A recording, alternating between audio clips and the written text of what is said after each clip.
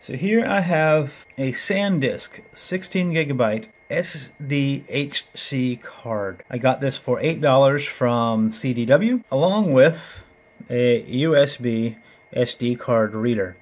Now this reader also has a micro reader in it. You can see it takes micro SDs. I have found that the H floppy emulator in the Mirage doesn't really understand micro drives. I don't know if it's specific to the one or two that I have, or maybe they're too large a capacity, but it only worked with full-size SD cards for me.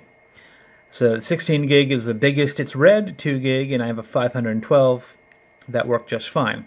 So what I'm going to do is take this HFE file we just made and put it on this SD card via the USB bus of the PC. So I'm about to plug it in the USB.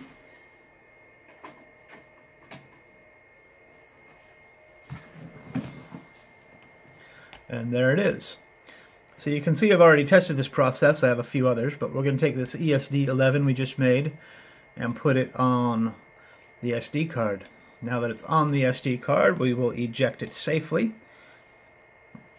Like I said, I wouldn't expect that ejecting safely is an important thing, except for this process seems to be very sensitive. So we're going to eject that safely. Now we will take the SD card out of the USB stick and put it into the Ensoniq Mirage. We're going to take the SD card and put it into the Lotharek unit. Now I'm going to turn everything on. Turn on the Ensoniq Mirage. It's going to run. It wants us to choose a file. So there was a few files on there already. Now we'll select the one we want, which is ESD11 and then turn it on. There it is reading it.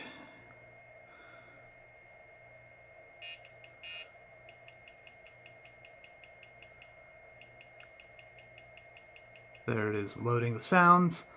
It has booted and turned on. So we're going to say load upper 1, enter. Now we're going to do a load lower 1, enter.